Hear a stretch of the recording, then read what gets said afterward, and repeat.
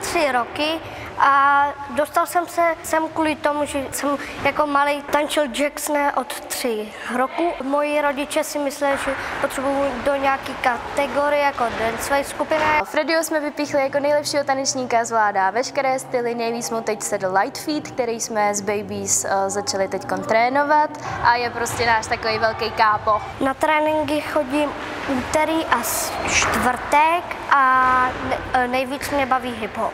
Fungujeme téměř už 17 let, zaměřujeme se na street dance a na hip-hop. Tancují u nás jak úplný začátečníci, pokročilí, babies, junioři, dospělí. V době covidu si myslím, že jsme to zvládli dobře, protože jsme hned od počátku jeli online, měli jsme pravidelné tréninky jako v běžný rozvrh. Chtěl bych se dostat na mistrovství světa právě jako tanečník.